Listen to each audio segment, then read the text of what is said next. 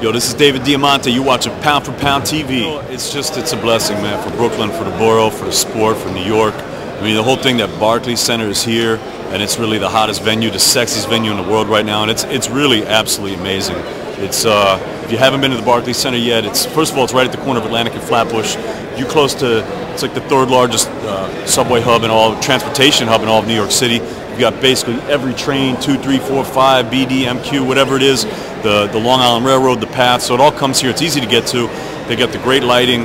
They get the great seats. Not a, the sight lines are incredible. So it's a great venue. That's number one. And then on this card, to have guys like Boyd Melson, who's doing what he's doing, Danny Jacobs. I mean, the Danny Jacobs story is amazing. Paulie Malignaggi, the stuff that Paulie's been through, one of the hardest working guys in boxing to come back and to be to be defending his belt right here. You know, he hasn't fought in Brooklyn since 2001 when he made, he debuted in Coney Island. So now, you know, in 2012, 11 years later, to be here defending a strap that he went all the way to the Ukraine to get, you know, that's a, that's a blessed thing. So Luis Collazo, this is one of our, our, you know, one of our guys from Williamsburg, Brooklyn, a local guy. Eddie Gomez is from the Bronx, but he's a New Yorker. There's a lot of great guys on the card, and of course Erik Morales and, and Danny Garcia, and and you know, all respect to all the other fighters on the card. It's just it's a stacked card. I mean, four world titles. I think it's great for Brooklyn. It's great for New York. It's great. You know, I, am right here in the neighborhood. You know, um, and uh, I have a cigar lounge just a few blocks away from from the Barclays Center.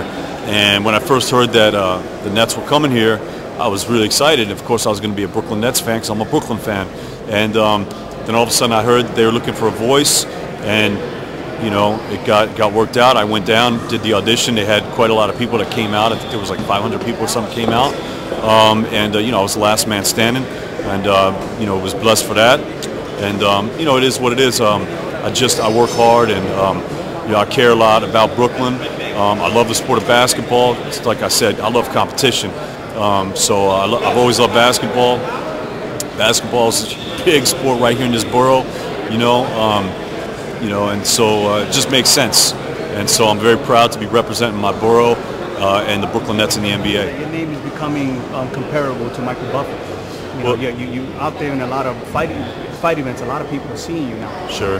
Well, I mean, first of all, uh, I'm a friend of Michael's, and um, I have so much respect for him. The fact he's a Hall of Famer, um, and he's really elevated uh, my profession, you know, way before I was even in this profession. So I have to give all the credit in the world to a guy like that. To say, for you to say that is it's a big honor.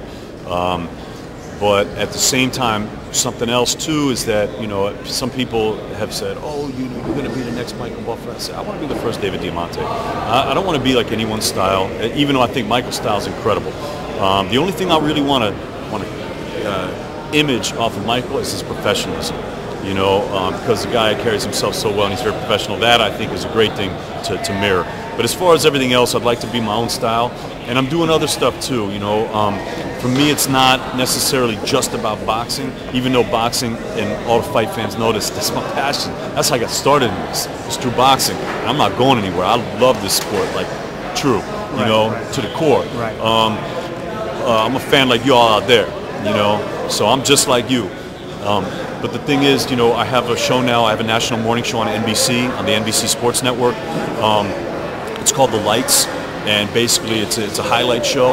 Uh, you get all your sports in half the time. It's a 20-minute show. It airs for four hours every day on the NBC Sports Network. We cover basketball, baseball, football, you know, everything. Um, working hard to get boxing on the show also. Um, so I'm doing that.